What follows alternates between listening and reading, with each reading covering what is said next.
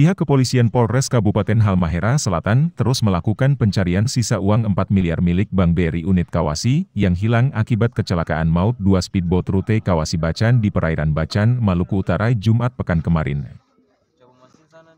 Uang tunai yang sementara berhasil ditemukan warga itu senilai 3 miliar 34 juta 700 ribu dan langsung diserahkan kepada pihak kepolisian, sedangkan sisa uang sebanyak 900 juta lebih belum ditemukan. Uang dengan jumlah total 4 miliar itu dibawa oleh korban Bahri Ramdhani Abu Bakar Kepala BRI Unit Kawasi. Hingga saat ini tim kepolisian yang dibantu masyarakat terus melakukan penyisiran dan penyelaman di sekitar lokasi kejadian. Uang dengan jumlah 3 miliar lebih itu sudah diserahkan kepada pihak Bank BRI.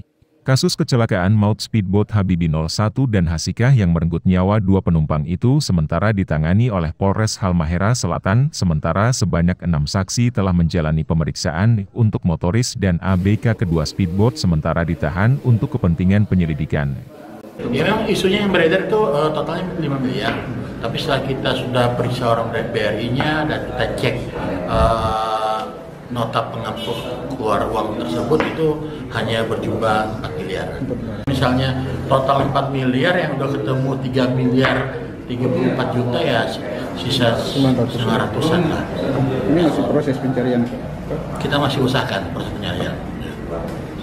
Nanti kita lihat ya, apabila ada tindak pidananya otomatis ada tersangka. Tapi kita lihat apakah ini murni murni ada tindak pidananya atau bagaimana nanti kita lihat ya karena ini masih dalam proses pemeriksaan